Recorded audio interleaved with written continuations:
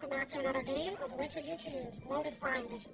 First up, crispy fries drizzled with cheese sauce. Then they take two fresh balls of beef and aggressively smash them down on the grill. Season them with salt and pepper and toss some chopped up beef bacon on the grill too. Those beef patties get flipped, aggressively chopped up, then slid on top of those cheesy fries.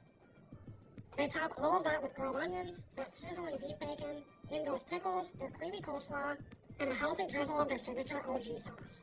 These are their smash fries and we are all about them. Devouring these fries? Again, drizzled with their cheese sauce. And two fried chicken tenders get coated in their spice mix.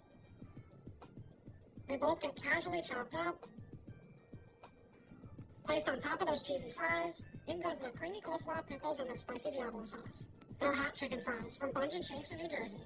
A grilled tortilla gets Nashville hot sauce, creamy coleslaw, pickles, a thick Nashville hot chicken tender, more Nashville hot sauce, wrapped up, sliced, and have it. The Nashville hot chicken wrap from Chickies in Queens.